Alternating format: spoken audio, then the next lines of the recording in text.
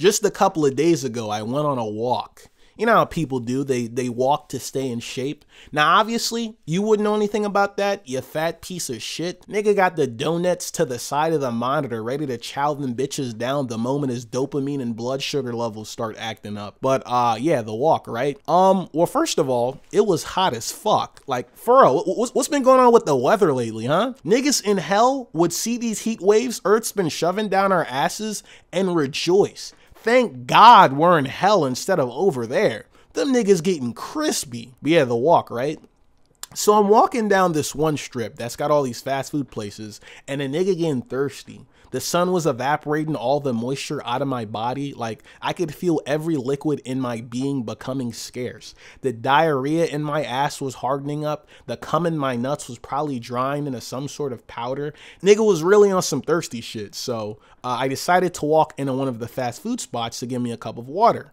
That's right, water. A nigga like you never even heard of that noun before, huh? Water, bitch. Niggas get thirsty and be like, um, can I get a glass of Dr. Pepper? Not even knowing that shit really dehydrates you. The place I walked in was a Burger King, one that I've been to many times before. So I go in, I asked the dude at the counter, uh, hey bro, can I get a water cup? Now usually they hand you them clear ass baby cups so they can see that you're really getting water and not soda, but this customer service dude was chill. He was a real ass nigga. Nigga handed me one of the regular soda cups, even though I was gonna get water anyways. But if I was a devious nigga, that nigga would have gotten some assist points off that play. Nigga would have got that 150 gold off the gank mid lane. After obtaining the water, I start walking out the door, right? And to the corner of my eye, I sense a familiar aura. I turn and I see an old schoolmate of mine. I don't mean to disrespect or anything, but she used to be the school thought. Like I'm telling you, this bitch was sucking and fucking like there was a scoreboard. That bitch probably earned the Medal of Honor in high school for how many niggas she's fucked. But she was still a pretty cool girl, and I was cool with her at some point. I'm sipping my water, right? You know, like like the real nigga that I am, and I speak up. Obviously, I say that shit with my chest because I'm a man. I'm like, what's good, bitch? You know, I gotta I gotta assert that dominance. Nah, but for real, I'm like, hey, what's up? She turns to me, right, and starts squinting a bit like she's trying to recognize me. So I'm like, I guess you don't remember me, but I remember you. And she responds to me saying, Hold on a sec, I just don't got my glasses. And she keeps looking up at my face, probably waiting for the memories to flood in. Not gonna lie, it, it was getting kind of uncomfortable. Felt like I was an art exhibit for a couple of seconds. Then again, I mean, I am a work of art, so I, I completely understand. You know that one song that Kendrick made?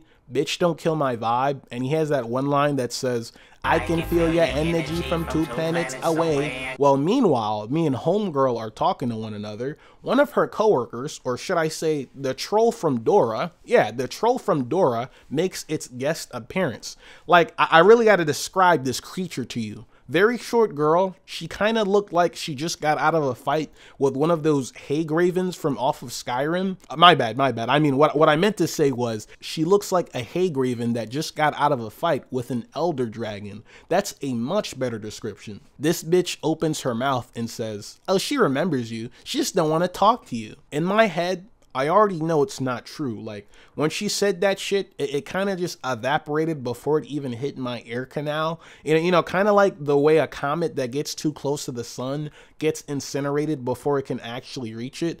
But it did make me wonder, why did she say that though? It made me wonder, like, how did this person grow up? How do other people view this person? What was the type of relationship they had with their mother and father? It really inspired me, dog, not gonna lie. To be the type of person that just sends negative energy into the atmosphere out of spite, there had to be some sort of life altering event where they just decided, I'm gonna be a plague on society. Then again, then again, this could just be basic Burger King customer service, so maybe I'm overthinking it, but Anyways, I went back on my walk, water in hand, and enjoyed the rest of the day. You know, I really hope the Hagraven that I encountered in the wild also had a good day.